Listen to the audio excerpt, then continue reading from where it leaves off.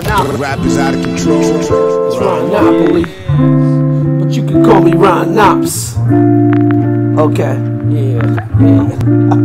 Look, allow me to introduce myself. My name is Ron Knox, but you can call me Wealth.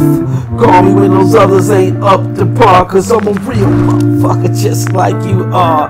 Bet you could wish upon a star, just to be half as classy as what we are. Hell nah, I'm not where you think I'm from. I'm from the D, oh yeah, baby, and here I come. And you ain't playing dumb if you choose to get your face up in the evening news, talking about how things got out of control, or better yet, fall back and just slow your roll.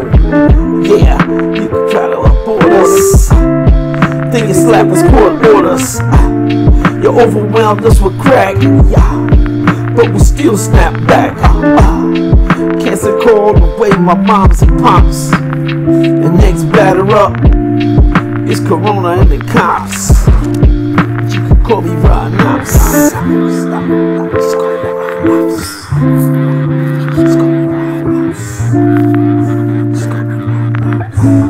Man, give a niggas props.